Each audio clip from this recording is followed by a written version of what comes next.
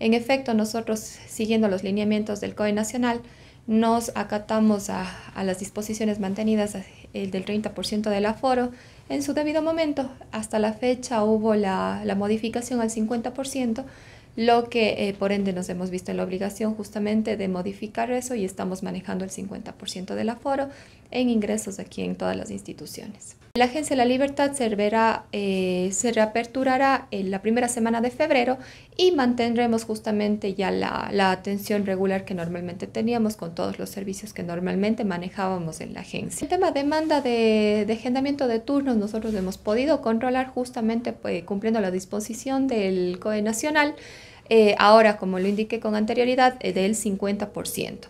No se ha visto afectado y lo que sí es importante mencionar, las personas que generaron su turno en la libertad podrán hacer el uso del mismo en la agencia Albatán o la o San Blas. No hay ningún inconveniente. Pueden venir con su turno se, se les atiende de inmediato. Eh, no hemos visto ningún inconveniente, lo que sí eh, hemos hecho un llamado general de socializar con todos y cada uno de los usuarios con respecto a los servicios de no ser casos emergentes que no se acerquen a realizar el mismo.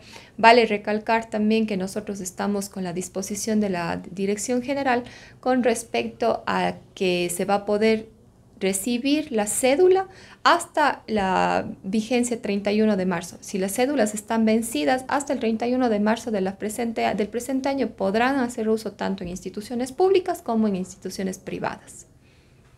Eh, ¿Cuántas personas, cuántos turnos están emitiendo al día? Ahorita estamos con el, 60, eh, con el 50%, es decir, más o menos estamos entre los 60 70 turnos diarios eh, para cada servicio.